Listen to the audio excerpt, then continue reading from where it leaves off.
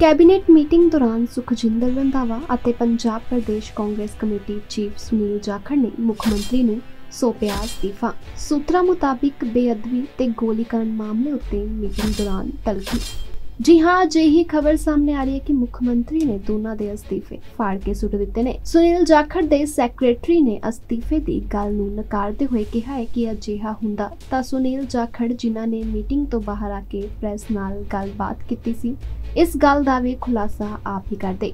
ਸੋ ਦੱਸਦੀ ਹੈ ਕਿ ਬੇਅਦਬੀ ਤੇ ਗੋਲੀकांड ਮਾਮਲੇ ਉੱਤੇ ਮੀਟਿੰਗ ਦੌਰਾਨ ਤਲਖੀ ਹੋਈ, ਜਿਸ ਤੋਂ ਬਾਅਦ ਮੁੱਖ ਮੰਤਰੀ ਨੇ ਦੋਨਾਂ ਦੇ ਅਸਤੀਫੇ ਫਾੜ ਕੇ ਸੁੱਟ ਦਿੱਤੇ। ਹਾਲਾਂਕਿ ਇਸ ਗੱਲ ਨੂੰ ਸੁਨੀਲ ਜਾਖੜ ਦੇ ਸੈਕਟਰੀ ਨੇ ਨਕਾਰ ਦਿੱਤਾ ਹੈ। ਬਿਊਰੋ ਰਿਪੋਰਟ ਦੀ ਟੀਵੀ ਐਨਆਰਆਈ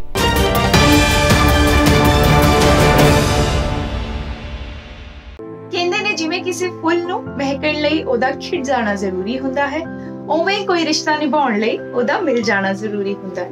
ਸੋ ਰਜਿਸਟਰ ਕਰੋ ਜੀ ਸਾਨੂੰ ਸਾਡੀ ਵੈਬਸਾਈਟ nrimb.com ਤੇ।